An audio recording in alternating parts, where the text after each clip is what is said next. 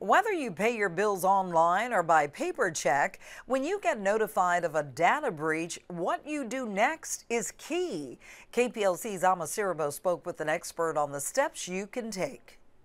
Chief Technology Officer Brett Duren says in this day and age, you have to be suspicious of everything that comes through, no matter its form of delivery. Don't click on anything. Don't assume that it's legitimate. Like I said, always treat any email that comes through as potentially bogus. You may remember a data breach involving tax payments in Calcasieu Parish earlier this year. Turns out some taxpayers are still getting notifications about it. You should always go directly to either the bank, the credit company, whoever it may be, go directly to their website, log in. If something has happened to your account, there will generally be a warning up on the screen that they've had to reset some credentials or they've noticed suspicious activity, something like that. Next, Darren says don't call any numbers associated with the notification.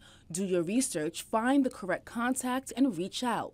This is crucial because if it is confirmed the company is at fault, they are required to do the following. They are required to pay for the service to monitor your credit account for you know X number of months going forward.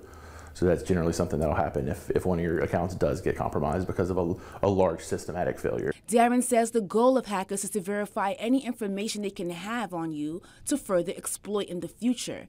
Hackers are often smart and leave their victims playing catch up. Organized crime isn't so much anymore getting shaken down by the mafia. It's rooms full of people sitting on computers, just finding different ways to access you know, people's information. Ama 7 News.